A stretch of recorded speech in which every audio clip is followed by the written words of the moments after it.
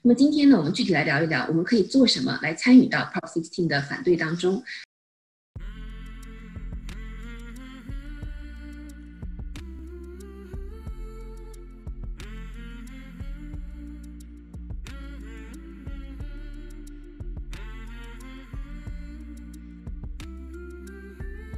大家好，欢迎来到萤火有约。那，接着上一期的话题，我们继续来探讨啊，加州的十六号公投案，就是 Prop 16。那么我们还是非常高兴，请到 Frank 和我们一起来探讨这个话题。那么啊，上一期呢，我们主要讲了 Prop 16它是怎样的一个啊公投案，它会对不仅是亚裔，而且是整个的社会，美国社会会造成怎样的影响？那么今天呢，我们具体来聊一聊，我们可以做什么来参与到 Prop 16的反对当中？当然，我们可以在十一月三号的投票的时候，我们可以投反对票。但除此之外，我们还没有什么其他可以做的呢？Frank，有请。啊，好的。那我现在的话呢，是在这个啊一个专门反对这个 Proposition 16的这样的一个组织，叫做啊 Californians for Equal Rights，No on Proposition 16。啊，这是一个选战组织里面做义工。那么呃，这个这个组织的话呢，是呃由那个九六年的时候。把这个平等保护条款写进宪法里面的，啊，这个 World Connolly 来啊做我们的这个主席。那还有的话呢，就是啊也有这个啊美国啊就是联邦人权委员会的一个委员叫做啊 Gail Harriot 啊，他也是我们 San Diego 的这个啊 San Diego 大学的啊法学院的教授啊。然后呢，我们还有啊 Manuel 啊 Klausner。是呃洛杉矶那边的一个民权律师，啊，专攻这个啊第一修正案的，啊，然后还有 Tom Campbell，啊，是前国会议员，以前是那个 UC Berkeley，啊商学院的院长，那么还有呢就是啊包括 Betty Chu 啊，是我们第一位啊亚裔的律师在加州注册的，那么他们的话呢非常的努力。啊，在各个媒体上面啊发表文章啊，接受采访，啊，来就是宣传这个 Proposition 16对这个整个加州的啊会带来的这个负面的影响。那啊，这个团队的话呢，那么当然我们也需要，就是说啊，需要一个经济上的一个支撑。那么我们前期前面两个月，就是七八两个月的话呢，我们也啊做了很多的筹款。那么非常感谢，就是呃。因为这个是跟华人社区最直接相关的一个一个议题，那么我们前面两个月的话呢，就收到了啊超过五千人的呃捐款，也就就是说有我们的这个捐款可以从这个啊五千多人啊来来自五千多个人啊，那么相对比之下的话呢，那么对方的话呢，他是有一个啊黑人的房地产商在 Oakland。啊，那一个人的话呢，他就给对方捐款捐了五百五十万，啊，那实际上从这个捐款的这个对比上来看，那么对方呢，其实现在是大概只有一百出头的捐款人，那么其中一个人就捐了五百五十万，那么他们合计现在可以看到的总的这个筹款额呢，已经到啊将近一千万了。那么从这个筹款的这个比例呢，大家就可以看到，就是。他们是有这个特殊利益在里面，啊，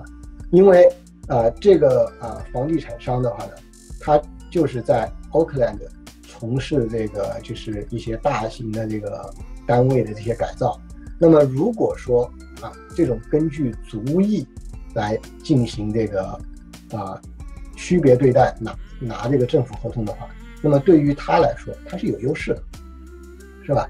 所以说的话呢，我们有一位就是。啊，我们很有意思哈，在我们的团队里面有一位黑人的这个民权律师，他叫 Leo Torres。那么他的话呢，在九六年二零九法案通过的时候，他是坚决反对二零九法案的。他是认为应该需要根据肤色来做一些区别对待，或者说这个啊，就是说偏好的种族偏好的这个对待的。但今年的话呢，啊，他完全改变了主意，他现在在我们这一方帮我们呼喊。他说，他坚决反对 Proposition Sixteen 为什么呢？因为这会，他在民主党已经，他是一辈子的民主党员，今年刚刚啊，刚刚那个变成 independent，原因就是他看到了太多的内幕。他作为黑人，他作为民主党，他看到了太多的内幕，就是会有这种利益集团，他用假装的一些这个一些信息啊，然后呢，来骗取到这个政府的这个合同，然后呢，啊，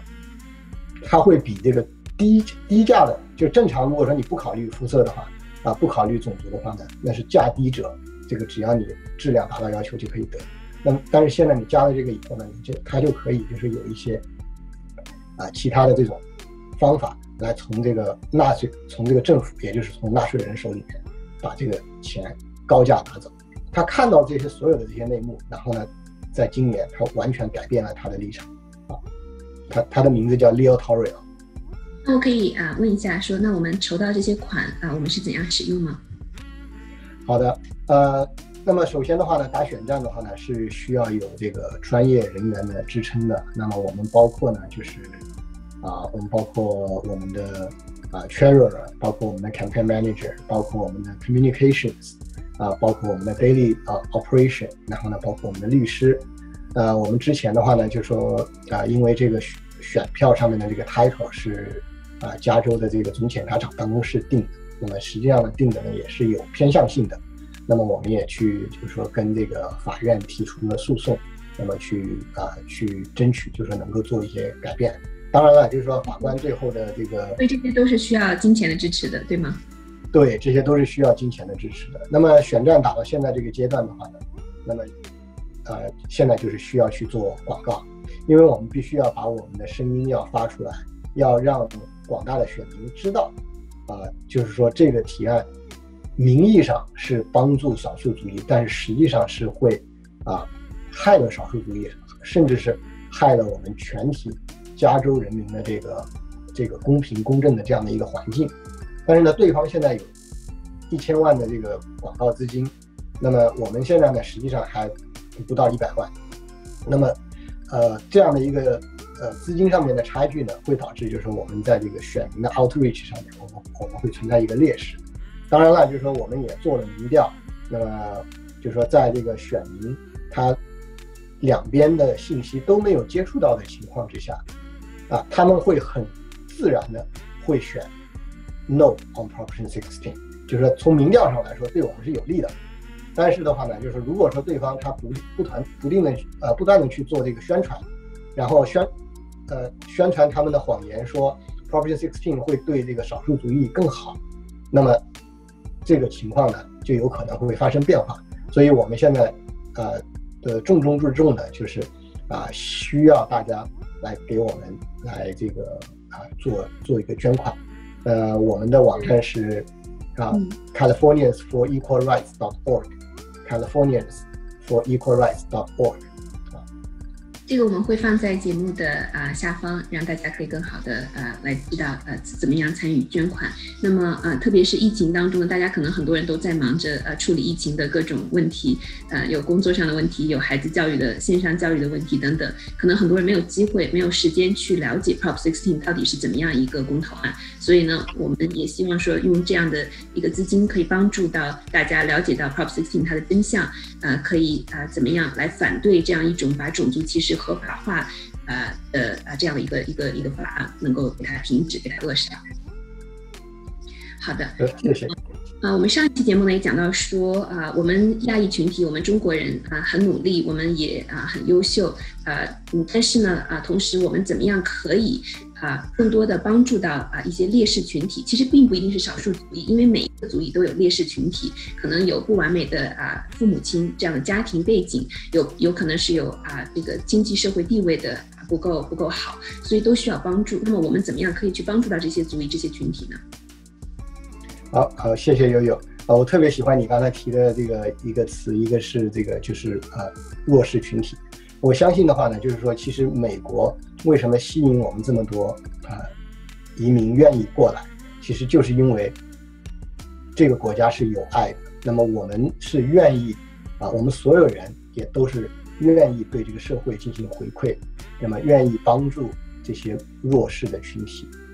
啊。当然了，就是说啊，我们在这个地方也要特别警惕一个概念呢，就是常常会有人把这个弱势群体稍微换一下，就变成了弱势种族。